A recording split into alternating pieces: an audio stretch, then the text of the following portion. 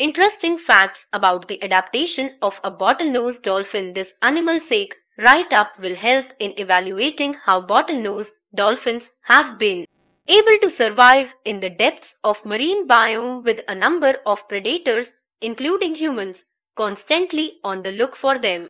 Continue to read for some interesting details about this water mammal.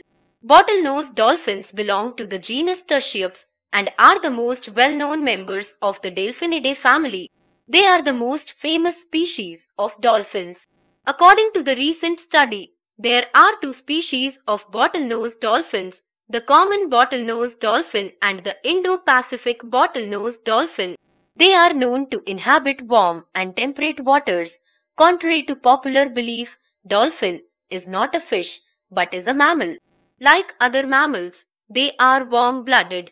They feed themselves on fish and crustaceans. Various physical features of these dolphins help them survive in the ocean environment. The behavioral features also have an important role to play in bottlenose dolphin adaptations.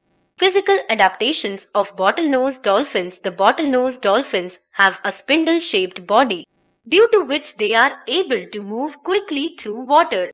As a matter of fact, in case of danger, they are known to be able to swim as fast as 20 miles per hour. Their sleek and streamlined bodies help them in being agile. It is the skin color of these dolphins which protects them in their habitat. They have grey to dark grey color on their backs which fades to white color on the underside, on lower jaws and bellies. This dual type of color enables them to camouflage themselves in the environment and protect from the predators. They can catch the prey easily. If one has to look at the dolphins from the surface of the water, then the grey color of the dolphin merges with the dark black surface.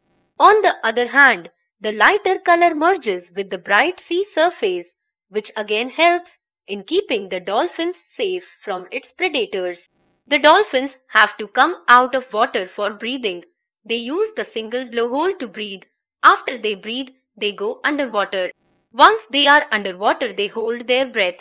When they are about to come back to the surface, they slowly start to exhale. There is a flap which covers the blowhole and makes it watertight which ensures water does not go in through the blowhole. The dolphins are known to have a hypodermis, a layer of fat and fibrous connective tissue under the layer of the dermis. It is this layer which gives them the shape they have and helps in swimming efficiently. The extra calories are stored in this layer, which in turn help when there is shortage of food. The hypodermis is also helpful in preventing heat loss from the body which is necessary for thermoregulation. The thickness of this layer depends on the season of the year and on the size and health of the dolphin. Like all marine mammals, the bottlenose dolphins are also known to have a physiology which helps them in adapting themselves well while diving. When they are diving, the heart rate slows down, which helps in conserving oxygen.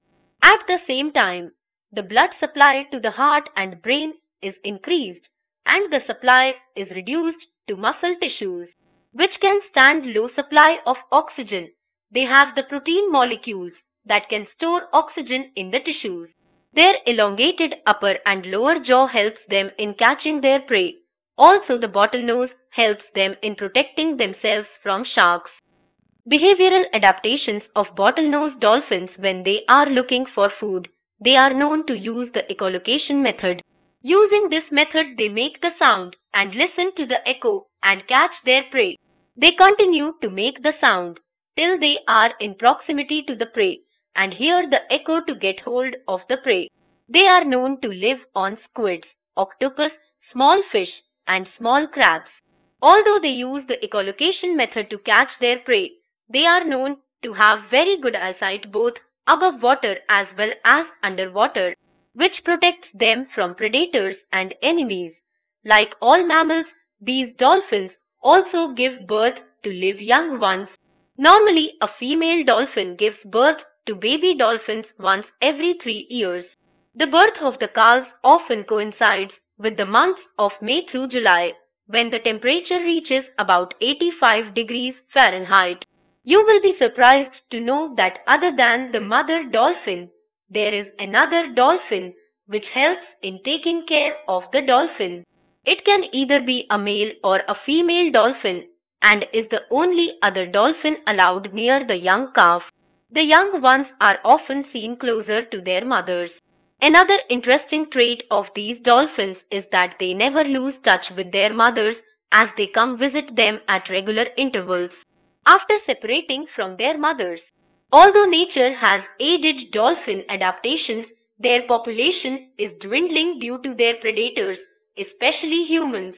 Along with humans, the climatic changes along with pollution are taking their toll and the adaptations of these species cannot be helpful for long. Therefore, measures will have to be taken to protect these water mammals.